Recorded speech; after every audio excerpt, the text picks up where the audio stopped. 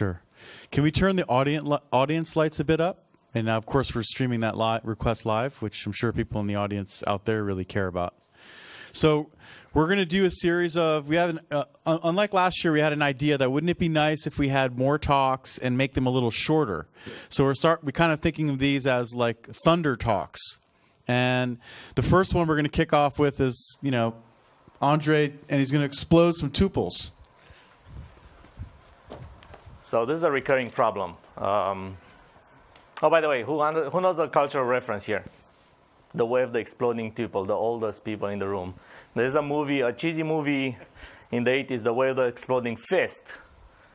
You may want to uh, search for that. It's kind of a funny movie for uh, if you have a dubious taste in movies.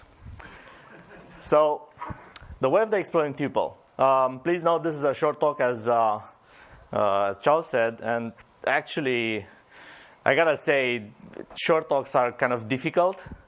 Uh, to wit, Scott said yesterday I can say my name in less than 10 minutes.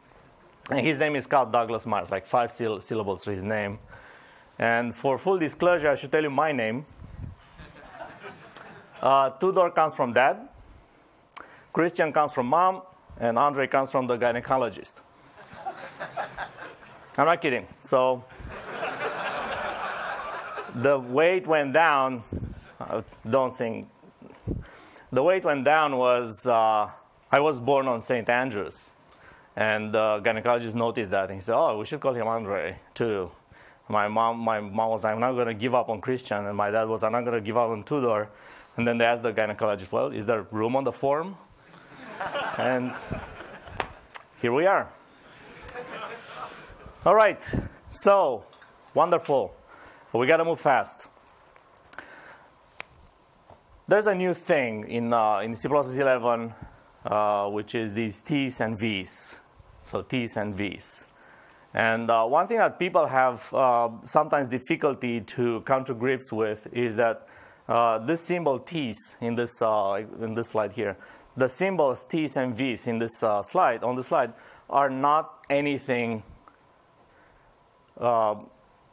comparable to previous C++. It's a new kind of science, a new kind of thing, right? Therefore, the normal rules are you can't copy such a thing. You can type def it. You can say, well, let me type def this and kind of make it, a, give it an alias, give it a different name. So type def would be entirely appropriate, it seems, but it's not. Similarly, you can't instantiate such a list of types. You can say, well, this, let me create a value of this type, and it presumably has an instance of each type and stuff. And that, again, doesn't work. And you can't, of course, uh, copy the values even inside this function here, fun, you can say, well, I have v, so let me create a local copy of v, and, you know. So it's a, it's a very bizarre uh, thing, and the way you should reason about it is it's a new thing which is unlike everything else in C++, and it obeys very specific rules. And the only two things you can do to it is apply size of dot dot dot and expand the thing again into uh, in certain places. Uh, to make that more palatable for people who actually want tuples of objects, which is sort of a very reasonable thing to, uh, to strive for, uh, the standard defines tuple, which in this example contains an int, a string, and a double. So it would actually contain these, it's, it's a product type of these three types. It contains one instance of each. And then there's a helper function that can create such tuples. And notice that there's this nice, uh, you know, actually it's, it's well written. So this is what I should be saying because uh, make people notice that it's called with an int, uh, a const char star, sort of a literal string, and a double, and yet it works because of the whole conversion doing construction and, and such.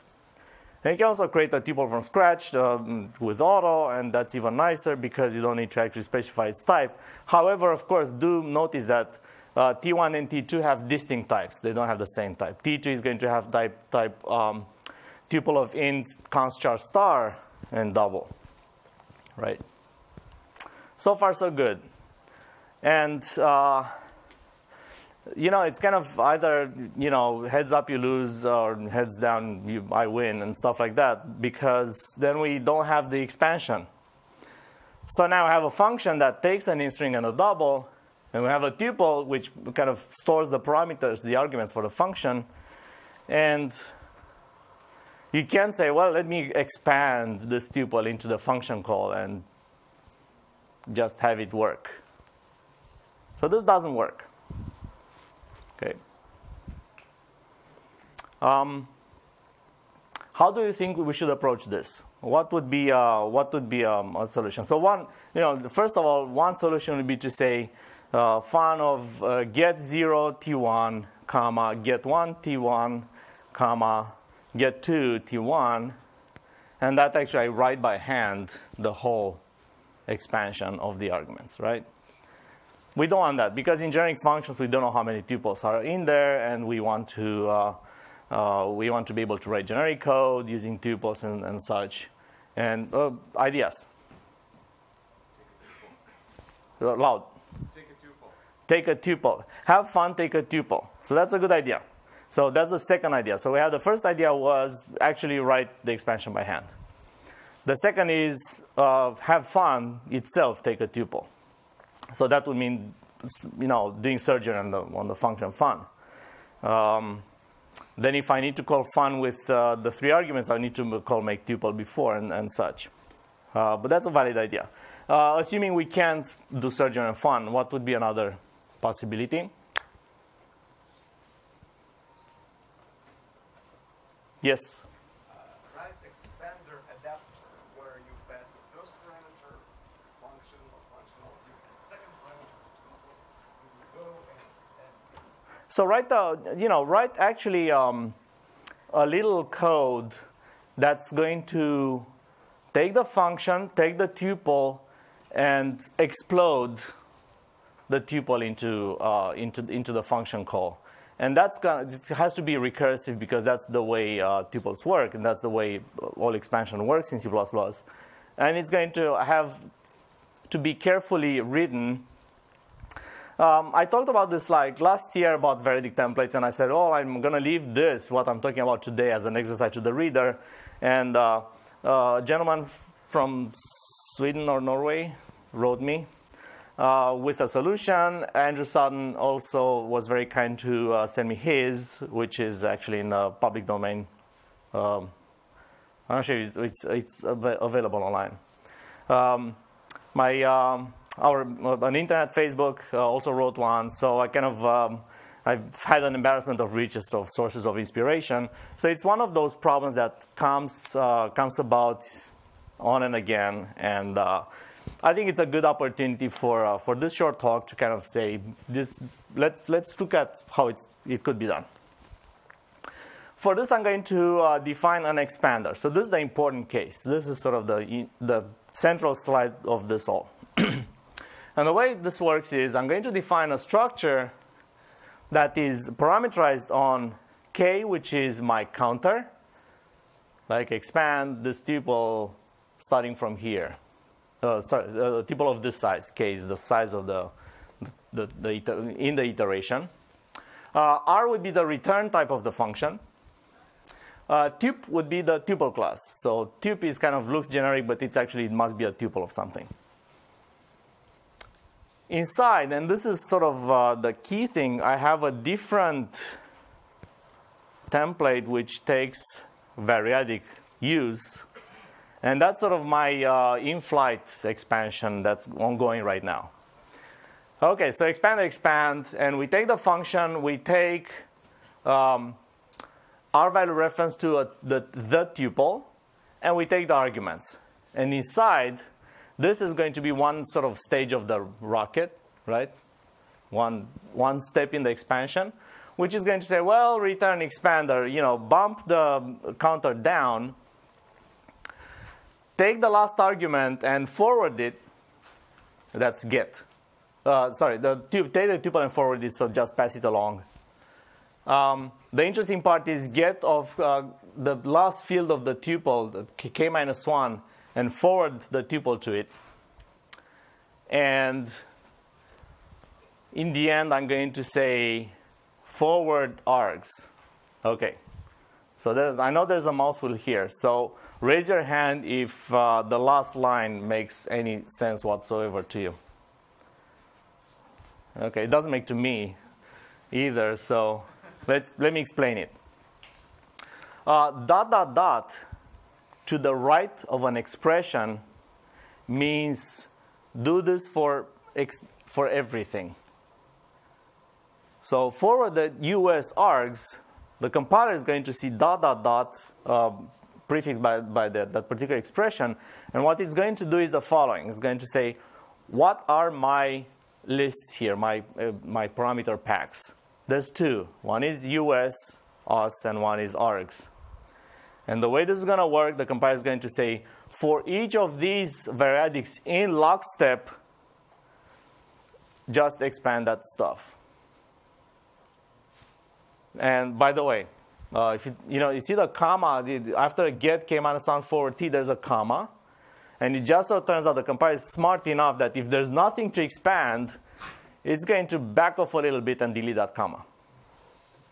It's going to be, oh, there's nothing here, so that comma wouldn't make much sense, would it? So let me just ignore it gloriously. It's, uh, it's kind of a counterintuitive device. It does work, but it, it's highly counterintuitive. So what am I doing here is I take the kth, uh, k, k minus 1 argument of the function. I'm going to put it in the list. And I'm going to also forward, uh, you know, pass forward the arguments. So what effectively happens is that the expander k minus 1 is going to get uh, smaller k, but more arguments in the argument list.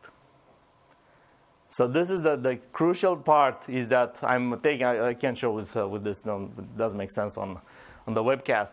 But essentially, I'm, the last two lines mean kind of expand one argument and continue passing the other arguments. And there's going to be a, a limit case at expander zero, right? So okay, so far we have, a, do we have an understanding? So k would be sort of my iteration. I start at the end of the list and I kind of iterate backwards because it's k minus 1, k minus 1, and so on. And what I'm expanding here, I'm passing along the function and the tuple and whatnot. And what I'm going to do is increase the, the actual US dot dot dot args. I'm increasing that guy by one. I'm bumping down the counter, and I'm, I'm passing for the, the other arguments as they were. Make sense? Yes?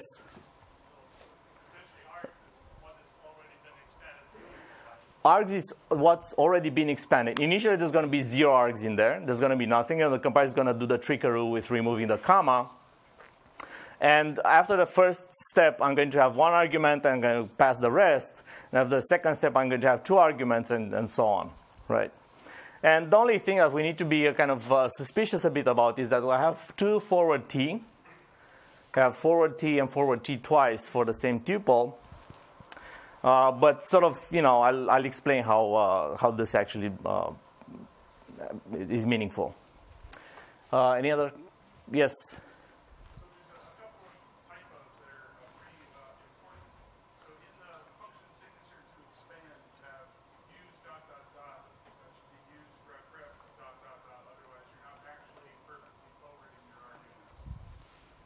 Um, let, let, me repeat the first typo. So, um, there actually there's there's two typos, one of which uh, Eric just noticed. Probably the second is, uh, I hope it's not the third.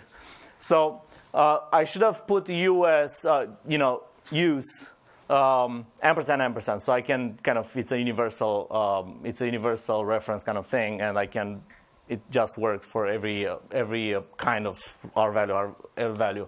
So in the argument list of expand, you should take R value to F, array reference to f. You should take, uh, as I take an R value to tube, and I should take indeed uh, use ampersand. And the second?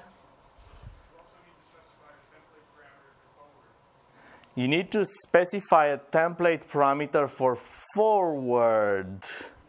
How did that disappear? Okay, it was in my code samples, but I, yeah, you gotta say forward tup. And how did that compile? I remember I, was talking yesterday with someone and said, you know, forward is a, is a disaster if you don't specify the parameters. And they said, no, it shouldn't compile. And apparently it does, which is kind of weird.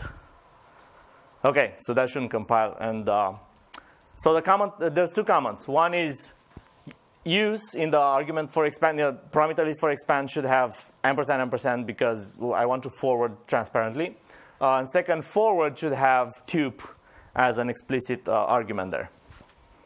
All right, let's see the limit case now, which has the, um, oh, in this case I did remember forward. You know, this is nice. Okay, so in this uh, limit case, I have expander of zero, which is I'm, I'm, I'm done with the tuple. I'm done with the expansion. And at this point, I actually call the function. I get to call the function. And again, there's this whole forwarding thing, uh, this, this whole nice expansion. But at this point, uh, after I've worked my way backwards through the list, um, I'm having everything in the form of a nice dot, dot, dot kind of thing, which is now exploded. So there are a few loose ends. I mean, this would be kind of difficult to use with all these parameters and stuff. So let's let's make it more. Uh, let's let's put a shell around it, which I can even call explode because that's the theme of this talk. And I'm exploding, you know, for this function and this tuple, I'm going to uh, invoke the function with the tuple. And the first overload I wrote here takes a const reference to a tuple. There are three explode. There are three explosions. Uh, there are three explodes. One is for const, one is for L values, the other is for R values. So I wrote three. Nice enough, they're all like one-liners. In C++ lingo, one-liner can be like 80 lines, right? so there are one-liners in uh, theory. They, they have one semicolon each, okay?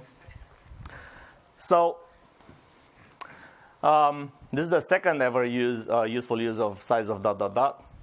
Uh, I have return expander. I'm passing the whole size of the tuple as the initial counter. Remember, that's the k that I had. I'm starting at the last guy and I'm kind of working my, my way back. And then I'm uh, uh, passing the result of the function, the type of the type that would be returned by the function which is nicely computed with std result of. Um, I'm passing f, the function type, which is a reference to a function most of the time, or functor, or lambda. And I'm passing const tuple t's reference as my as. This is tup in, uh, in the slide above. And I'm calling expand against all that. So here, there's no trick. I mean, it's const reference. There's no need to kind of worry about forwarding and moving stuff and all that good, all that jazz. So this is sort of the simplest example. Um, is, is this make sense? Yes. So I have a question. So why do you need to forward this tuple key since you already always pass the L value to it? Why do I need to forward? Tuple T inside this expand. Since Oh, here. Oh, because this is should work for everything. I don't want to copy this code for const, non-const, you know, non-const L value and R value. I don't want to copy this code. I don't want to duplicate this code. So this should work for everybody. Right? So that's forward is gonna do a, is gonna do a, essentially nothing for const references. All right. Uh, oh. Okay. So that was the first one, the const. You know, I'm just going to pass a constant tuple, no problem, you know, no worries here. Now, the more interesting case is if I want to pass an L value, then I'm going to say, well, uh, it's an L value, so let me just do pretty much the same. That's not the interesting case, sorry. So this is uninteresting, this is uninteresting, and this is interesting. And I'm looking for Eric's hand in the air to see any major mistakes I might have. No hand? Yes. Destroy. Oh, STL. Okay. Shoot. Can you go back to like site 12? I, I Side 12 is the one I was afraid of. Huh? Yes. Result of is wrong. Result of. The problem is that you have a const tuple ref and you're getting things out of it. If you look at the signature of get, this will apply a constant ref. So if you have a tuple of like int ref, the get will return constant ref. So by passing the ts unmodified, you are asking for the I understand. That is okay. Oh, and there's, there's, no, uh, there's no simple solution to this. There is a simple solution. Oh, we, is that oh, you, you, you got to tell the solution, man. I mean, okay, so let me repeat for the, for the webcast. So uh, STL's first objection, out out of, I hope, one and a half, uh, okay? Uh, so STL's first objection was the result of is going to compute the wrong thing because I'm passing the function and I'm passing the t's, but the t's, there might be some conversion there for calling the function involved. And f of t is just, does not really compute in all cases. And the fix for that is so the fix for it is to throw out all of your code. throw away all, all of the code that doesn't start well and Unless you unless you got this in a later slide, like you're, you're peeling off the arguments one by one, and then eventually, in your final non-recursive call, you invoke the function. There's a way to do this in a single variadic blast. You compute an index sequence. It was voted in C++ 14. Jonathan Wakely's index sequence for. You just say index sequence for, bunch of types, and then you call one helper function, and a single variadic blast you call the function. Okay. So um, let me repeat my understanding of what STL said. He said, throw your code away and take a sabbatical until 2014 when C++ 14 is going to be in vigor. and at that point in time, uh, there's going to be a simple solution in the standard. So, you know, You write the index sequence yourself. It, it's like a two line. It's not that. Yeah, so actually th- this is fixable. So, you know, this, this result of, I actually sat down and wanted to define my own, but I didn't have time because uh, last night, you know, drink buddies with Bjarne, drink buddies with Charles, drink buddies with Walter. I mean, I was like, you know, there's a couple of wines each. And, you know, last night I was like, I'm going to wake up early this morning and I'm going to fix this. and you know what, you know. Okay, so last but not least, which is uh, sort of the one interesting tidbit here, is that I'm I have this interesting case in which I'm passing an R value tuple into this expand thing. So in this case, I'm going to say, well, I want to move the guy because it's, it's, it's an organ donor by this point, right? To move away from this tuple. And the nice thing is that the whole forward with the type and everything, the whole forward thing and the whole get thing, get is written cleverly uh, so get, this is std get, you know. So get is cleverly written such that for an R value tuple, it's going to return an R value reference, which means the tuple is going to get progressively disemboweled and extracted. The organs are going to be harvested from progressively by the template. Gotta love templates, right? I mean, and all this move construction. So it's going to be progressively taken away from, and at the end, the, the, the function is going to get the R values or whatever was in the, uh, in the tuple and uh, in a very nice form for, uh, for the appropriate action. So it's going to be efficient. Uh, with this, so this was sort of the interesting tidbit. Uh, one thing that needs to uh, be made, we need to make sure it works. So call move here, and whenever you expand, you gotta kind of pass forward, forward, forward. Where are we? Like you gotta pass forward here, gotta pass forward here. That's why you need all these forwards just to make sure the whole flow uh, goes the right way. With this, I'm seeing Herb impatiently uh, signaling me.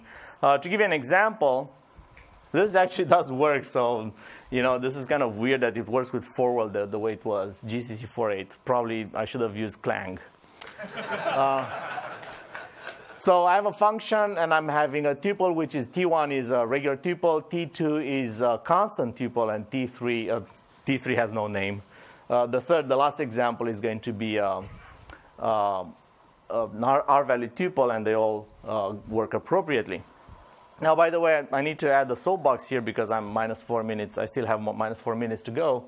Um, I should add you're gonna pry unsigned out of my cold dead hands. I love unsigned types. I, you know, I, the, there's this uh, unanimous advice passed yesterday. Oh, you know, avoid you know sign, and you know I'm using it. And with this, call the destructors. We have time for like minus few Minus one questions. Anyone not have a question? Anyone not having a question? Okay, raise your hand if you don't have a question. Cool. No, you know, the other thing we can do is you can answer the question and then we could do what Herb was planning to do either at the beginning of the panel or we do it now at a truncated time. So if we so we'll do it now. But Okay. Andrei, thank you so much, man. Thank you guys. Thanks very much. Appreciate it.